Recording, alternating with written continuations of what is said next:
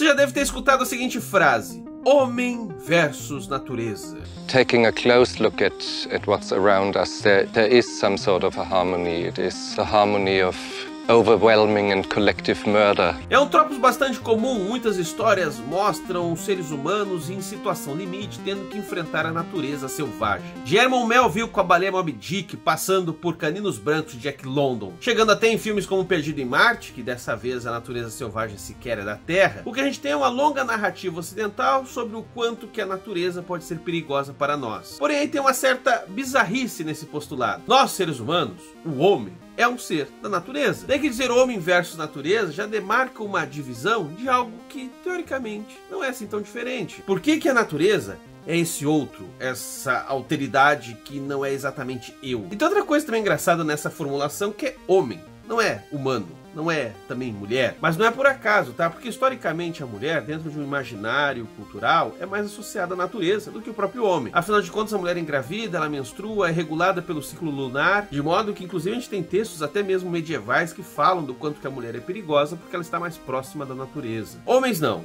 Homens são senhores da razão. The trees here are in misery and The birds are in misery. I don't think they, they sing, they just screech in pain. Notem então que por mais que seja muito interessante narrativas homem versus natureza, ela parte da ideia de que humanos, geralmente masculinos, são seres distintos dessa mesma natureza. E assim são porque são seres dotados de razão, diferentemente da natureza, que é irracional. O ponto, galera, e eu tô dando muita volta aqui, é que hoje em tempos de emergência climática, existe toda uma reconsideração sobre essa separação curiosa entre o homem e natureza. Será que não foi justamente essa ideia de separação da natureza que nos levou aos problemas que nós temos hoje? Será que não foi justamente a falta de uma visão ecossistêmica que fez com que a gente começasse a poluir, destruir, causar talvez até a nossa própria extinção? Aliás, esse é um ponto de conflito entre culturas aqui mesmo dentro do próprio planeta. Afinal, tem diferenças entre um europeu do século XIX com um indígena na Amazônia. A relação com a natureza é diferente. E aí vem a fina ironia, aquilo que era considerado até ontem atrasado hoje a gente olha e fala, mas pera lá, eles não destruíram com tudo. Esse papo todo é muito bacana, dá pra gente aqui ficar numa roda de conversa, filosofando, mas vamos ser francos, é difícil colocar isso em termos sensíveis. Por mais que a gente possa se conscientizar ou considerar isso pelo lado racional, olha a ironia, ainda assim parece que na hora de pensar a natureza, falta algo mais estético. E estético é uma palavra que quer dizer sensível, sensação. Dito de outra forma, então, pra gente poder falar dessa relação homem versus natureza, ou mesmo questionar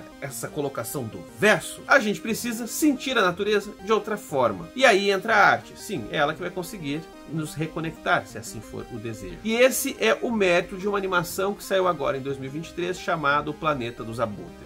Criada por Joseph Bennett e Charles Weather, é como o William Moore, que é do grupo aqui de apoiadores do quadrinho Sarjeta, no Telegram, falou: Planeta dos Abutres é tudo aquilo que Avatar tentou ser. E essa é uma boa frase, porque Planeta dos Abutres é uma tentativa bastante radical de pensar a nossa relação com a natureza. Só que fazendo isso a partir de um deslocamento via ficção científica, porque a história é sobre sobreviventes humanos num planeta alienígena, que tem uma fauna e uma flora toda específica. E vou dizer para vocês, tá? Eu tô para ver filme, animação, sei lá, que consiga trabalhar isso de maneira tão, tão específica. Esse vídeo aqui podia ser feito junto com um biólogo, porque é muito rica a imaginação dos criadores da série para pensar como é que seriam formas de vida alienígena. A primeira temporada da série tem 12 episódios, todos de 20 e poucos minutinhos. E é doido que em todo episódio a gente vê formas de vidas bastante diferentes. Só que para além simplesmente de serem uns alienígenas bizarros, o que é doido é ver essas formas de vida de maneira conectada. Sim, os criadores da série tiveram o cuidado de pensar esses bichos sobre como é que eles agem em relação ao meio ambiente. E não é só essa coisa predador e presa, ah, um come o outro, o outro come plantinha. Não, a coisa aqui é muito mais complexa. O que a gente vai ver aqui nessa série é como é que animais alienígenas lidam com seus filhotes, como é que as próprias plantas se defendem diante de invasores, como acontecem as relações simbióticas entre espécies e até mesmo como é que parasitas fazem para sobreviver. E repito, tá, galera, tem um grau de descrição absurdo. Dá para chamar Planeta dos Abutres de uma ficção científica naturalista. Porém, obviamente, para tudo isso funcionar, a conexão com os personagens humanos é fundamental. A maneira como eles passam a ver o mundo também ajudam a gente a repensar a maneira como a gente sente o nosso próprio mundo. Algo que a ficção científica científica sempre consegue fazer muito bem, porque afinal de contas o que a ficção científica em resumo faz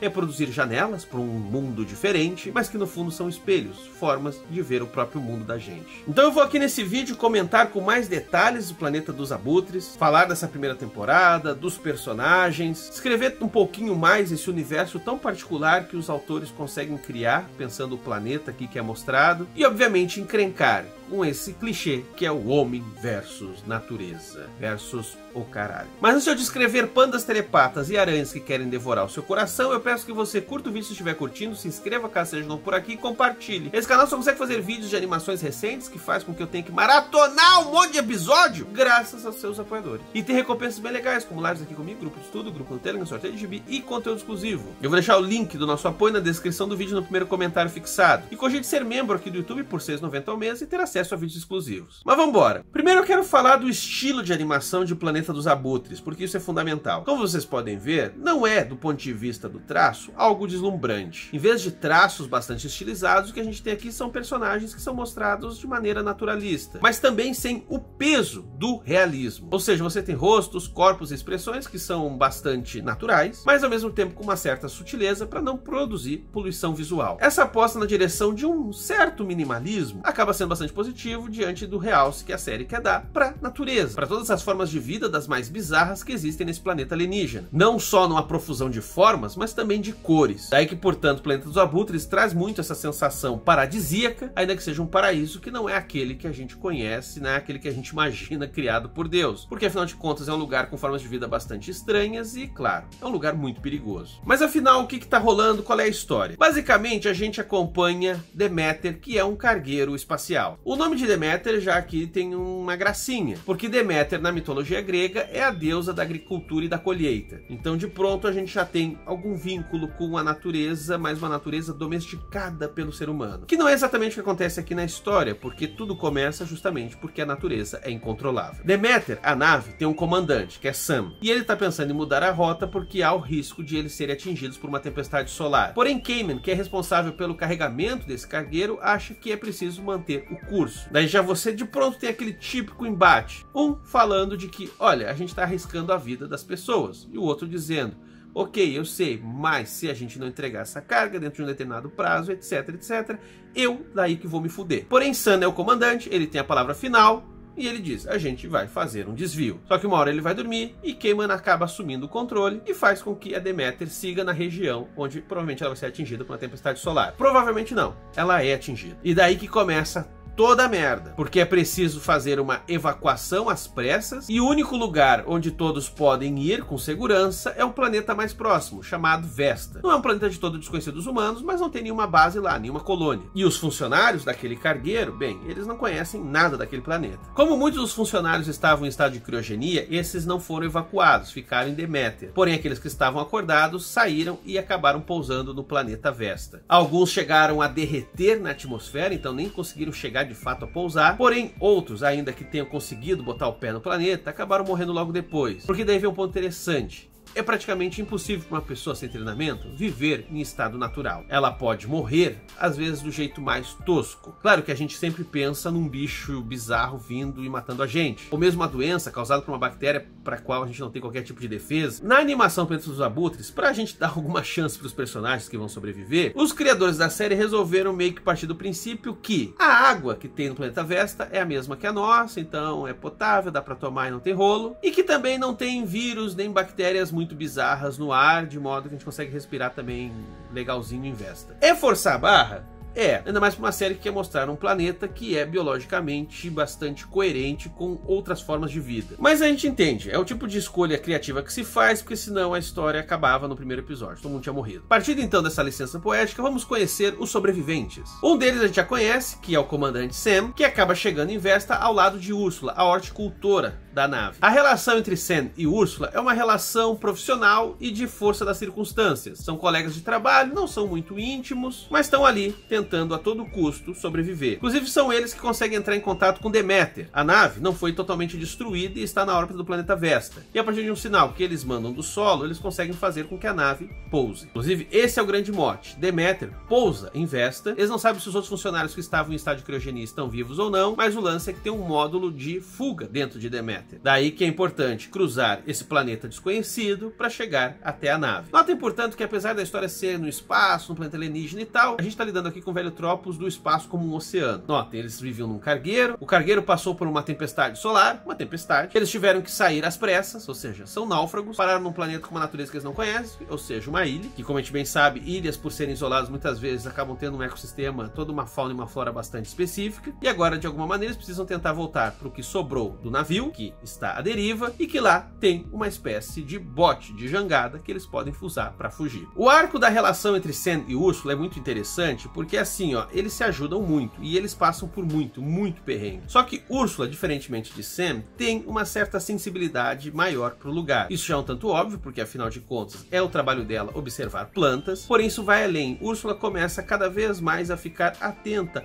ao quanto que as diferentes formas de vida desse planeta interagem entre si. Aliás, pessoal, esse é o ponto alto de Planeta dos Abutres. Existe todo um espaço de contemplação, de observação mesmo, atenta perante essas formas de vida tão distintas.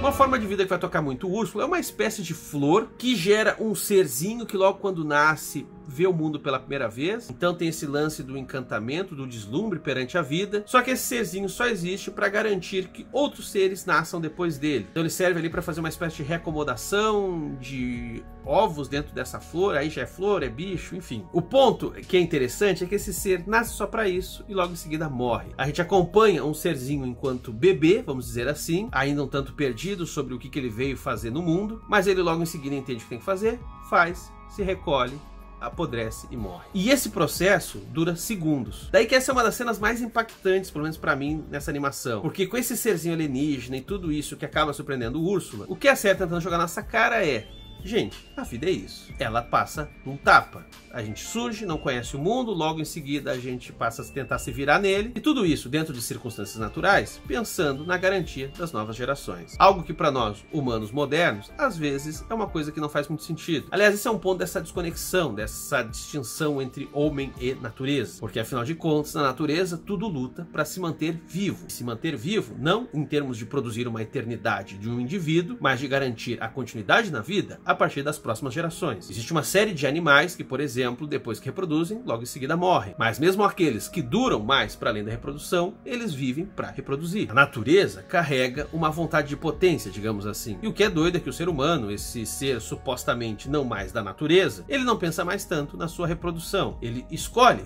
se pode reproduzir ou não. E quanto a isso, tudo bem. O ponto, porém, é o quanto que às vezes, justamente por a gente se considerar indivíduos, por a gente ter uma certa autoconsciência da nossa autonomia, a gente acaba se descolando até mesmo da ideia de uma continuidade para além de nós. Isso faz com que a gente busque muito mais uma perpetuação do indivíduo, daí que a gente procura tentar morrer cada vez mais tarde ou até mesmo se tornar imortal, e esquece de colocar em vista que a nossa existência no fundo serve para que outros possam existir. É aquela expressão, passar o bastão para as próximas gerações. Eu recentemente fiz aqui no canal um vídeo sobre Pluto, outro anime que saiu no ano de 2023, e acaba gerando uma conexão curiosa, que não é por acaso, tá gente? A gente tá falando numa época de mudanças climáticas radicais e que só vai ter futuro, só vai ter próximas gerações se a nossa fizer alguma coisa. Aliás, cabe aqui trazer um detalhe. O conceito de indivíduo, saibam que ele não é uma coisa natural. Muito pelo contrário, ele inclusive é bastante recente. Surge por volta do século 16 e 17. E segundo o filósofo Peter Sloterdijk, nasce de um lugar bastante curioso, mesas de anatomia anatomia. Caso vocês não saibam, era proibido na Europa o estudo da anatomia humana, porque isso implicava pegar um corpo humano e abrir, mexer em órgãos, fuçar para ver o que que rola. Esse tipo de coisa era considerado uma profanidade com o corpo das pessoas, só que aí a gente entra na era moderna e aos poucos isso começa a rolar. Inclusive a medicina moderna em muito isso é possível que ela passe a se ocupar do corpo humano. E é a partir disso que se começa a ter uma visão um tanto mecanicista da natureza, porque se observar o corpo humano é visto que os órgãos interagem uns com os outros, mas que um ser humano ele consegue viver sem estar ligado a nada. Não tem um fio espiritual ou algum tipo de coisa que faça com que eu só viva se o outro olhar para mim, ou se alguém encostar em mim, ou sei lá, qualquer tipo de relação nesse sentido. Não, eu como indivíduo, eu me basto para estar vivo. Daí que surge, portanto, a ideia de indivíduo. Eu não consigo viver se me dividir em dois, mas também eu consigo me manter sem estar conectado a outra pessoa. Isso é algo que vai ser criticado já no século XIX por filósofos como Schelling, que vai dizer que essa visão mecanicista perde de vista justamente as relações orgânicas. Daí que tem toda uma treta filosófica entre organicistas e mecanicistas. E considerando hoje como o mundo tá, os organicistas agora estão finalmente virando a mesa. Porque o papo que já se dizia lá atrás é que, ok, a gente é individual, mas não tem essa de você viver isolado. Somos seres sociais, bebês humanos quando nascem demandam cuidado, e bicho, a gente tá o tempo todo interagindo com a natureza. Ainda que a nossa dependência de outros seres não seja direta, indiretamente a gente depende para diabo. Se derrubarem uma árvore, eu não morro no dia seguinte. Mas se aquela árvore era única frutífera que eu tinha meu acesso, eu vou morrer de fome daqui a algum tempo. Mas enfim, dei uma volta aqui que tem tudo a ver com a série, mas deixa eu voltar para os personagens. Outro núcleo que vai ser bastante relevante é Aze e o robô Levi. Aze era responsável pela carga de Deméter. Não é explicado o que, que rola exatamente com ela, mas ela é uma mulher antissocial. Quando ela estava lá na nave, ela não conseguia interagir com ninguém. Pode ser o fato de ela ser lésbica e a gente não sabe se essa sociedade do futuro tem preconceitos quanto a isso, sei lá. Mas o lance é que Aze já era naturalmente solitária. De modo que Levi, esse robô, acaba se tornando a companheira dela. Eu falo companheira porque apesar de Levi ser um robô, ela tem uma voz feminina. Mais especificamente a voz de Fiona, que foi a engenheira que fez esses robôs. E Fiona, por sua vez, era a namorada de Cayman. Sim, aquele cara que fez com que toda a merda começasse. Cayman também conseguiu sobreviver, conseguiu chegar na Terra, só que conforme a gente vai vendo mais para frente, ele vai ter que conviver com a culpa. Porque a hora que ele saiu correndo na evacuação da nave, ele deixou para trás Fiona, a sua amada, e ela morreu sozinha no espaço. Então esses são os três núcleos: Sen e Úrsula, Az e Levi e Cayman que está sozinho. Quer dizer, não exatamente sozinho, porque aparece um bicho bastante curioso aqui na série. Inclusive um dos indivíduos dessa espécie é chamado de Hollow, que é uma espécie de panda telepata telecinético. Logo no começo a gente vê que esses bichos eles funcionam manipulando a mente de outros para que eles sejam alimentados. E um desses indivíduos, o Hollow, acaba vendo ali um bicho que ele não conhece, no caso um ser humano, e resolve fazer a mesma coisa, ou seja, manipular Cayman. Esse processo todo é bastante doido e interessante ao longo da série, porque o jeito que esse animal usa para manipular outros animais é dando para eles memórias agradáveis. Então você passa a se lembrar de coisas boas e fazer uma série de ações que no fundo servem apenas para alimentar aquele que está controlando você. Mas como esse bicho nunca tinha mexido com o ser humano, começa a rolar também uma espécie de contaminação em via dupla. Ou seja, Cayman não está sendo só controlado mentalmente por esse animal, ele também está contaminando esse animal com seus pensamentos. Daí que esse bicho começa a sentir pela primeira vez sentimentos como ódio, inveja, ganância, porque Cayman é um cara mega frustrado. Não só tem que lidar com sentimentos de culpa, como também a vida toda dele foi ele sendo um tanto escroto, foi ele não sabendo lidar com as pessoas à sua volta. Aliás, a Fiona foi uma santa, porque mostra que esse cara era um companheiro horrível. Tanto foi que deixou a mulher morrer no final das contas. Essa relação bizarra então do Hollow, que controla mentalmente Cayman, vai produzir o monstro da história. Porque Cayman, por ser um humano, consegue fazer ferramentas e caçar mais e mais animais. Com isso, Hollow come, come, come, não para de comer, se torna inclusive fominha, ou seja, começa a comer mais do que precisa, porque está ali sendo contaminado com uma série de sentimentos humanos, e no final se torna um ser gigante, colossal e bastante perigoso. Uma coisa que é estabelecida logo nesta série é o quanto que aqueles personagens já estão ali há algum tempo, não é dito exatamente quanto, e eles já aprenderam, pelo menos em alguma dose, a se entender naquele planeta. Eles se utilizam de uma série de recursos, sejam eles ervas,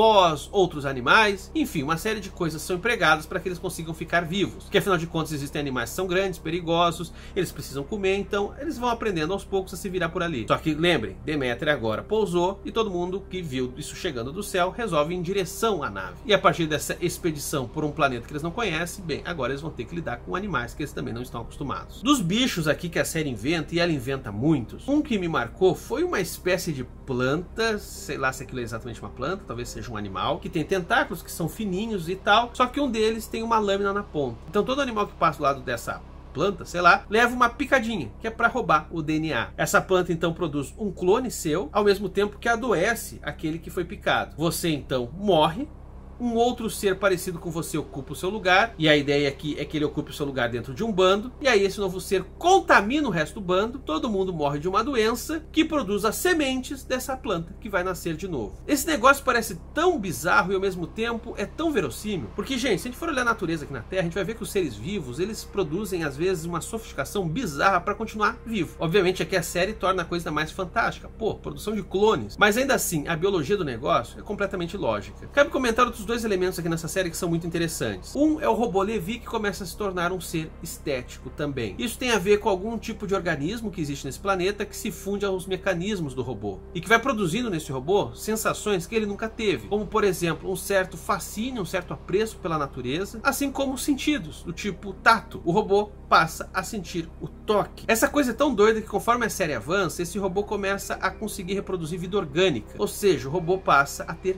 filhos. De novo, não tem como não fazer uma relação com o anime que eu falei aqui recentemente do Pluto. Mais uma vez a gente se utilizando de inteligências artificiais para conseguir contemplar a vida, ou mesmo produzir vida. Isso é tão sintomático do mal-estar que a gente vive nos dias de hoje, do quanto que a gente perdeu uma certa crença de que o ser humano é capaz de se ressensibilizar diante da vida na Terra. Daí parece que é mais fácil você imaginar um robô se dando conta disso do que nós que supostamente já temos essa habilidade. O segundo ponto que eu quero considerar é um outro núcleo que vai chegar pela metade da série, que são catadores-coletores do espaço, que vivem de roubar recursos naturais ou cargas e que acabam escutando os pedidos de resgate e vão para o planeta Vesta. Eu acho esse núcleo meio chatinho, mas ele serve aqui para a história para mostrar o quanto o ser humano é carregado de individualismo. Inclusive a vilã da história, que é a capitã desse grupo, Chris, ela sim é mostrada enquanto vilã justamente porque ela no final das contas resolve pensar só nela mesma. Aliás, esse é o tema talvez mais radical aqui de Planeta dos Abutres. O quanto que para se conectar com a natureza, talvez a gente precise superar uma certa premissa da individualidade. Ou para falar em termos filosóficos, romper com o mecanicismo e optar por uma visão mais organicista, pensando nós e os outros como um organismo só. Até que não é por acaso o quanto que essa série investe relações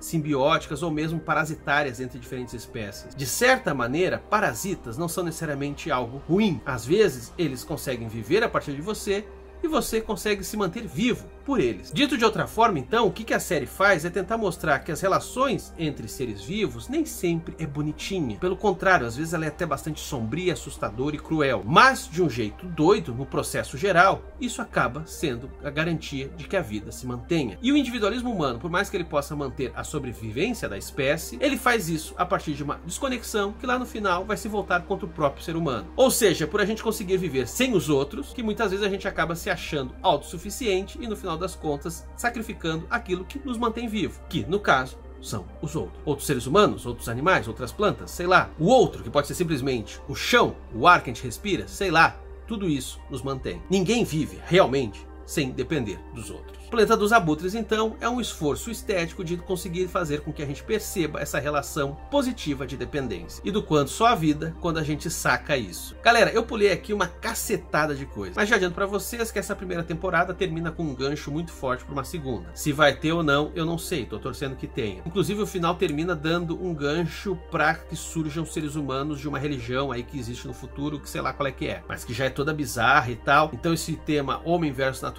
provavelmente vai ser atravessado numa segunda temporada pela ideia de Deus, de divindade, enfim, pode render coisas bem legais aí. Fica o convite então que vocês assistam Planeta dos Abutres, ele tá na HBO Max, e não, isso aqui não é uma publi, a HBO não tá me pagando nada. Eu realmente gostei muito da animação, por isso que eu tô recomendando. Mas assim, ó, se alguém aí da, da, da, da Max aí tá me vendo, pô, ó, pensa aqui no Xandão. Ah, e só um detalhe que eu deixei de lado: Planeta dos Abutres. Por que Abutres? E a resposta é que a tradução meio que ficou encurralada. Porque o nome da série mesmo é Scavengers Reign, ou seja, Reino dos Coletores, ou Reino dos Necrófagos. Eu sinceramente prefiro o título em inglês, porque primeiro alude a reino, e aí você pensa em reino animal, reino vegetal, essas coisas todas. E o segundo, porque a palavra scavenger tem essa dupla possibilidade de sentido. O reino que a gente aqui observa em Vesta são de seres que vivem a partir de outros seres, vidas que se alimentam da morte e que depois morrem e alimentam outras formas de vida. Já abutre, ok, o bicho tem alguma relação com tudo isso, mas a gente fica esperando, sei lá, né? O que, que tem a ver exatamente a ave abutre aqui com a história. E não tem nada. Assistam então Planeta dos Abutres. Se permitem reconhecer a velha natureza, aquela da qual a gente se descolou faz tanto tempo. E aí que vem o doido, né? Isso a partir de um maravilhamento perante seres alienígenas. Parece que é preciso a gente se encantar com bichos completamente fantásticos para lembrar o quanto que é fantástica a vida que está à nossa volta. Mas era isso. Siga a gente nas nossas outras redes sociais, TikTok, Twitter Instagram. Obrigado por assistir. Valeu, pessoal. When I say this, I say this all full of admiration for the Changi. It is not that I hate it, I love it. I love it very much, but I love it against my better judgment.